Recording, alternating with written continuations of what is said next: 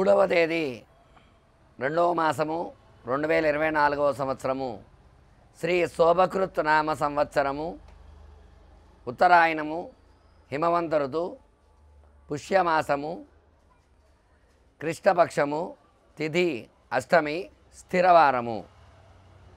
ఈ అష్టమ తిథి ఉదయం పన్నెండు గంటల ముప్పై నిమిషముల వరకు ఉన్నది. విశాఖ నక్షత్రము రాత్రి రెండు గంటల నలభై నిమిషముల వరకు ఉన్నది. అమృత గడియలు ఐదు గంటల యాభై నిమిషాల నుండి ఏడు గంటల ముప్పై మూడు నిమిషముల వరకు ఉన్నవి. వర్జము ఉదయం ఏడు గంటల నలభై తొమ్మిది నిమిషముల నుంచి తొమ్మిది గంటల ముప్పై నిమిషముల వరకు వర్జం ఉన్నది. దుర్ముహూర్తము ఉదయం ఎనిమిది గంటల ఐదు నిమిషముల వరకు ఉన్నది.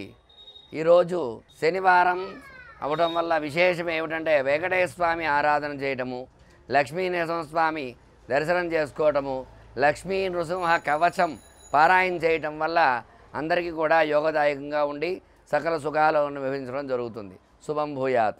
స్వస్తి.